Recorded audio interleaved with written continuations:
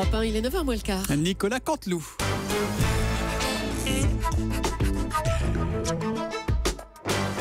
C'est presque de l'info, c'est la revue de presque de Nicolas Canteloup. Et ils sont encore dans le studio, Fabien Amias, qui fait déjà des gestes, et son invité. Europe1.fr d'urgence. hein. Alors, euh, Benoît Hamon, vous êtes euh, mon invité. Euh, L'immigration, on va en parler parce que c'est un sujet important. Même euh, Jean-Luc Mélenchon en parle aujourd'hui euh, dans ses discours. Votre regard là-dessus Euh, il y a, euh, il faut le dire, en France, moins d'immigration qu'on ne le prétend. Les chiffres sont assez faibles. Pourquoi? Parce que les immigrés, vous l'avez noté, viennent dans les pays où il y a de l'emploi. Du coup, ils ne viennent pas en France. Et ça, je crois que c'est un des grands points positifs à mettre au bilan de François Hollande.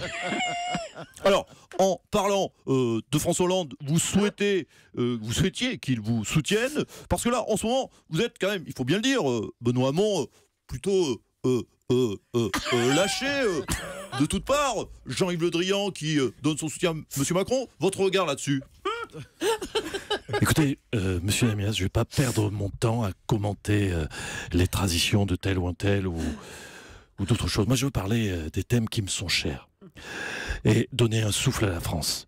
Ce qui m'intéresse, c'est l'avenir. C'est parler des conditions de travail inacceptables euh, des infirmières à l'hôpital, de la pénibilité du travail, des agriculteurs qui se suicident, des enfants qui respirent un air dégueulasse, des pesticides qui envahissent nos cantines, des perturbateurs endocriniens, euh, la puberté précoce, mon neveu de 5 ans, la moustache, euh, de l'euthanasie, tous ces sujets qui passionnaient les Français, les sujets d'avenir, l'euthanasie qui devrait être un droit euh, pour toutes les personnes qui sont en souffrance. Je parlais des perturbateurs endocriniens, le- les maladies chroniques, le cancer de la tomate, le sida de la courgette, l'hépatite, l'hépatite B du navet. Euh, L'euthanasie pour qui devrait être un droit pour toutes les personnes qui sont en souffrance en fin de vie. Pour moi, c'est ça, donner un nouveau souffle à la France. C'est ça les thèmes d'avenir de la France. N'empêche, n'empêche, excusez-moi, mais quand même, vous êtes euh, euh, lâché, disons-le, euh, euh, euh, par Jean-Yves Le Drian. Moi, ce qui m'intéresse, c'est pas d'être soutenu par l'ancien Parti socialiste. Ce qui m'intéresse, c'est la nouvelle génération du Parti socialiste. C'est Johanna Roland, une mère qui a du poids. Étienne Lourbier, maire de Non-le-Fuselier. Philippe Choupette, maire de Beaumont-la-Flèche. Mais aussi Raoulette Glavio. Catherine Moustachu, Oh Albert Le Poil, Gisèle, Gisèle Labrosse, oui Michel Labrosse, c'est important. C'est ça, l'avenir, la nouvelle génération du PS. Bon, merci euh, à vous, euh, euh, Julie. Merci Fabien Amias. Merci messieurs. On va retrouver maintenant notre ami Nikos, comme Ouais. chaque vendredi. Il est avec nous pour les titres. Ouais, Salut ouais, Nikos. salut, salut July, salut les loups, salut à tous. Et ouais, c'est Nikos aujourd'hui pour parler de Benoît Hamon. Pourquoi moi pour parler de Benoît Hamon? Parce que c'est normal, c'est une légitimité normale. C'est Benoît fait Bercy, il faut le savoir, il a fait Bercy comme Matt Pokora, comme Lady Gaga. C'est une perf. Bon, par contre, mon cher Benoît, je dois vous le dire, je ne vous cache pas que lorsque nous avons su que c'était vous l'invité, on n'a pas sauté au plafond, pas un scandale de costume, pas un emploi fictif, pas de patrimoine sous-évalué, pas d'enfant à l'Assemblée. On a connu plus fun comme invité. Ah ouais, de quoi on va parler, nous Ouais. Allez, tout de suite, néanmoins, c'est parti pour les titles de News. Allez, on vous écoute Nikos. François Hollande a des fuites. Oui, pour François Fillon, François Hollande, Oh franchement. Serait-. François Hollande serait à la tête Oui, d'un bon. cabinet noir. Pas un cabinet de coiffure, un cabinet noir. Hollande serait un super manipulateur ténébreux, une sorte de, de Georges Clooney dans Ocean Eleven. Ocean's Eleven, Ouais, oui. Ou de, de- de James Bond maléfique. Ouais. Hollande, Georges Clooney, James Bond. Je crois qu'il est crevé, Fillon. Il est vraiment crevé. Oui, mais c'est vrai, on fait lever super tôt, vous les politiques. Forcément, à un moment donné, le, le corps ne suit plus. Il nous aura tout fait. Je suis Bérec au foie, je suis Mike Brandt. François Fillon a tenté à demi-mot le coup du chantage au suicide en évoquant Pierre Bergovois. Oui, c'est vrai que ça fait peur que, mais que, que tout le monde se rassure, c'est du Fillon. Il s'agit bien sûr, il s'agira d'un suicide fictif, bien évidemment. Et alors, c'était pourtant parfaitement légal selon lui, mais François Fillon a finalement rendu ses costumes sur mesure. Il a rendu ses costumes sur mesure, Fifi la grosse mèche. Franchement, c'est complètement con. Rendre ses costumes sur mesure. À part trouver un mec qui aurait exactement le même corps que, que toi. Mais oui, c'est Avec- vrai. à qui va les donner Si j'ai une idée, Gérard Larcher peut-être. Ah bah non, il rentre pas. Sente pas, ouais. Non. Ah si, je sais, Eric Ciotti. ah si, si, avec juste le tissu d'une manche, il peut faire trois costumes. Allez, c'est bon, merci. Merci Nikos. À bientôt. Gravement accusé par François Fillon hier soir, le président de la République, euh, François Hollande, a tenu à être présent ce matin. Bonjour, monsieur le président. Bonjour. Bonjour. Oui. Vas-y, lâche-toi, Benoît. Il est Je t'en écroulé, prie. Benoît. Vas-y, continue. Vas-y, oh, tu- Allons-y. C'est la débandade. Oui, je suis le cerveau du cabinet noir. Oh, le con, non, franchement, il est marrant, Fillon. Hein, c'est- c'est, non, c'est, euh, fr- euh, il peut en témoigner, Benoît. C'est la première fois en cinq ans qu'on me dit que je suis un cerveau. Alors, euh, le meeting de Benoît Hamon à Bercy avait du souffle, hein, et pourtant, euh, bah, pourtant, il n'est pas favori. Alors, comment vous pouvez soutenir concrètement le candidat socialiste, Mais, monsieur le euh, président? Madame Leclerc, comment pouvez-vous dire cela? Je soutiens Benoît Hamon. Je soutiens indirectement, certes, mais je soutiens. C'était lundi. J'ai interdit avec fermeté, plus grande fermeté, Mhm. tous mes ministres ou secrétaires d'État qui ne rejoignent pas l'autre enfant, le Emmanuel Macron. Ouais, mais dès le lendemain, Barbara Pompili a annoncé son soutien à Emmanuel Macron. Oui, et j'en ai pris note. Et j'ai donc, dès mercredi, interdit avec encore plus de fermeté. Euh, J'étais à la limite de la violence. J'ai Oula. tapé du doigt sur la table. et d'ailleurs, dès le lendemain, Dès vous le remarquez. lendemain, Jean-Yves Le Drian a annoncé son soutien à Emmanuel Macron. Euh, C'est c'est pas faux. hein. Ah bah alors, Donc j'ai décidé, en conscience, d'arrêter de t'aider, Benoît. hein, Parce qu'en fait, plus je l'aide, moins il a de soutien. Excusez-moi, je, je dois vous quitter horrible. parce que j'ai envie d'aller au cabinet. oh non Noir, bien sûr. Oh là là. Bon. Oh, merci, Oui, toujours la- monsieur la, Hollande. petite phrase qui. Oh, mais vous êtes en pleine forme Ah ce oui, matin, le petit- le petit merci. mot qui- Ouais, hein, merci d'être passé en tout Toujours cas. le bon mot. Benoît Hamon est donc notre invité ce matin et Arnaud Montebourg, un de ses principaux soutiens, est passé nous voir. Benoît Mont- Salut le gars. Benoît. Arnaud. Salut ma Julie, salut mon Soto, salut mon Joubert.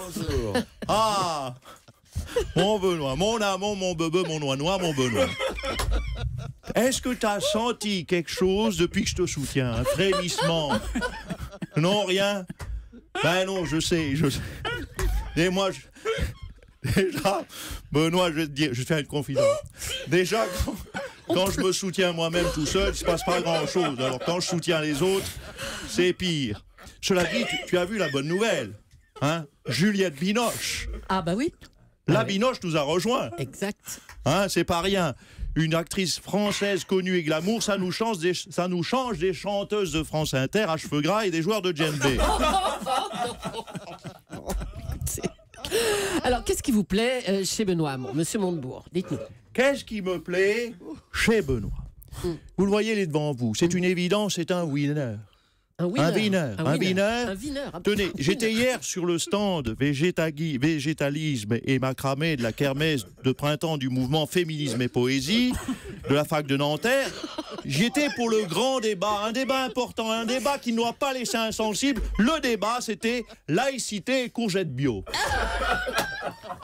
Eh bien, je peux vous dire que mon Benoît, il était en place. Il a fait un carton là-bas. Et vous avez appelé aussi Jean-Luc Mélenchon à se retirer, monsieur Montebourg. Moi, j'appelle solennellement, je le dis sur votre micro qui est là, euh, Jean-Luc Mélenchon à faire gagner la gauche en se retirant. Et je soutiens l'appel du Parti Socialiste qui demande également à François Fillon, et c'est la moindre des choses, de se retirer. Euh, je crois qu'il serait digne, euh, n'est-ce pas, euh, que Madame Le Pen se résigne à abandonner cette élection perdue d'avance.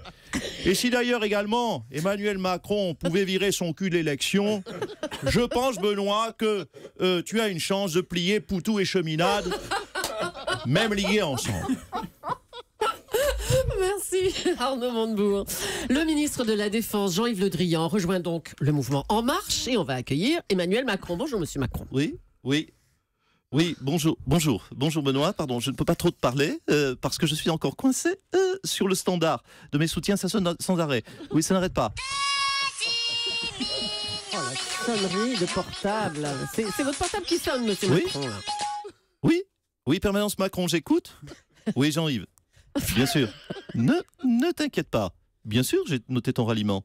Le, le Drian, oui. En- tu, es, tu es marqué entre Laborde et Leclerc. D'ailleurs, merci, Mme Julie. Carrément. Excusez-moi, mais ça n'arrête pas. Ah, je prends, je prends.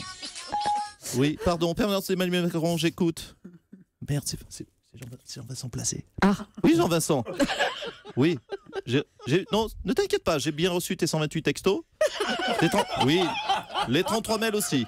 Non mais, non mais je sais que tu veux être militaire. Oui, mais on peut, tu sais, on ne peut pas accueillir toute la misère politique du monde, tu sais. Au revoir. Ce- Celui-là, je te le laisse, Benoît. Ça me fait plaisir, c'est cadeau. Encore Oh, excusez-moi. Permanence Macron, permanence Macron, j'écoute. Oui, madame. Oui, madame. Ah, madame, comment? Amon. D'accord? Vous êtes La maman de Benoît. Vous... voulez- D'accord, d'accord. Vous voulez être en marche aussi. Je suis désolé. Vous... Ah, vous ne serez pas seul. Bien sûr que je peux faire des tarifs familiaux. Bien sûr, vous êtes- serez con- 18. Tous les Hamons. Son oncle, sa tante, ses cousins, son père, sa mère, son frère, ses sœurs. Oh, ce sera le bonheur. Mais ça n'arrête pas, monsieur Macron, hein, tous ces C'est c'est soutiens. fou, c'est fou Bah tous, ouais. ces, tous ces soutiens Eh ben oui, qui, tombent. n'arrête Rien que ce matin, Euh, Madame Julie, Oui. euh, j'ai eu Maïté, Gilles Verdès, Patrick Battiston, Robert Rue et la bande à Basile. C'est un peu hétéroclite, je l'avoue. Oh, bah, ça oui. Si t'en veux un parmi tout cela, Benoît, tu te sers, c'est pour moi. Merci Emmanuel Macron. Et on va continuer à parler de ces ralliements avec François Bayrou. Bonjour François Bayrou. ma. euh, ma. Oui, enfin j'ai l'habitude. Madame Mada- Julie. Madame Mada- Julie. ça Mada, non, Mada, Madacia est garée en double fil. Il faut que je fasse vite. Bon alors, euh, dites-nous ce que vous pensez du ralliement de Jean-Yves Le Drian à Emmanuel Macron. Écoutez, avec Jean-Yves euh, Le Drian, Hum. Nous récupérons à nouveau un débris. Hein? Un débris. Oui, nous récupérons un des brillants esprits du gouvernement. Alors, que pensez-vous de Benoît Hamon, euh, Écoutez, cela peut vous surprendre, mais je l'apprécie beaucoup. Hum. D'ailleurs, je déplore qu'il ne nous rejoigne pas. J'espère qu'avec nous, euh, néanmoins, il roulera des joints. Quoi? Euh, il roulera des joints. Euh, il roulera des joints juillet euh, à nos côtés et que nous serons ensemble unis. D'accord, merci Pour la France. beaucoup François Bayrou. Jean-Luc Mélenchon passe nous voir maintenant. Bonjour monsieur Mélenchon, comment allez-vous? Comment allez-vous? Mais qu'est-ce que ça peut te foutre? Non, mais alors, je suis venu voir mon camarade Benoît dans un but précis. Bon bah pourquoi? Dites-nous. Mais vous allez arrêter avec vos pudeurs de gazelle. vous savez très bien pourquoi. Mais pour fumer, parce qu'à un moment donné, il faut se tendre la main. Et Benoît le sait. Pour fumer le calmier de la paix. Allez, on voit ta musique là, en régie.